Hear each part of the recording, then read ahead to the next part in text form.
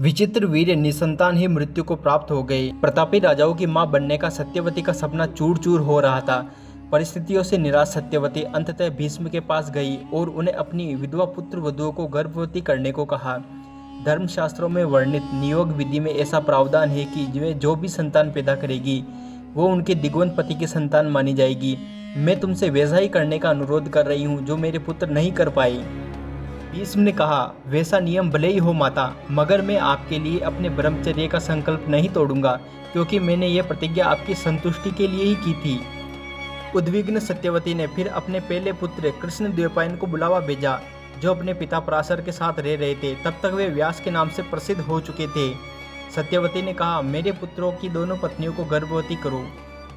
व्यास का उत्तर था, आपकी ऐसी इच्छा है तो मैं ऐसा ही करूँगा, लेकिन मुझे अपने आप को तैयार करने के लिए कृपया एक वर्ष का समय दीजिए।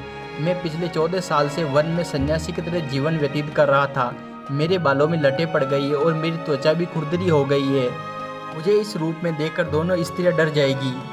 लेकिन सत्यवती तो अधीर हो चुकी थी। तुम ऐसे ही चले जाओ, वे तुम्हारा स्वागत करेगी। तथा अब मैं और प्रतीक्षा नहीं कर सकती। अपनी माता के अवज्ञा के दोष से बचने के लिए व्यास पहले अंबिका के पास गए।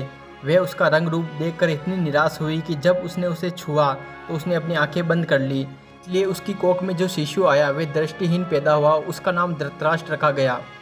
के बाद व्यास अंबालिका के पास गए। व्यास को देखकर वे बेबीत होकर पीली पड़ गई। इस संसद के फलस्वरूप उसकी कोख में जो शिशु आया वे कमज़ोर और पीतवर्णी पैदा हुआ। इसलिए उसका नाम पांडु रखा गया। सामान्य पोत्रों के जन्म से निराश सत्यवती ने फिर आदेश दिया, अंबिका के पास दोबारा जाओ और इस बार वे अपनी आँखें बंद नहीं करेगी।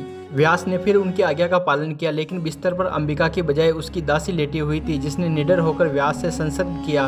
उनकी कोख में जो शिशु आया, वह स्वस्थ और बुद्धिमान हुआ। उसका नाम विदुर रखा गया। राजा बनने की सुयोग्य होने के बावजूद उसे दासी पुत्र होने के कारण राजमुकुट नहीं पहनने दिया जाएगा।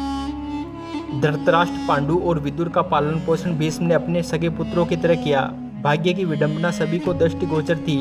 भीष्म, जिन्हें अपने परिवार कभी नहीं बनाने की प्रतिज्ञा की थी, वे अपने पिता के खानदान में उलझ गए थे, जिनमें सौतेली माँ, दो विधवा भाभिया और उनकी दासी तथा तीन भतीजे शामिल थे। वीडियो अच्छा लगा तो इसे लाइक कर दे और चैनल को सब्सक्राइब करना ना भूलें और वीडियो को अपने दोस्तों के साथ शेयर करें।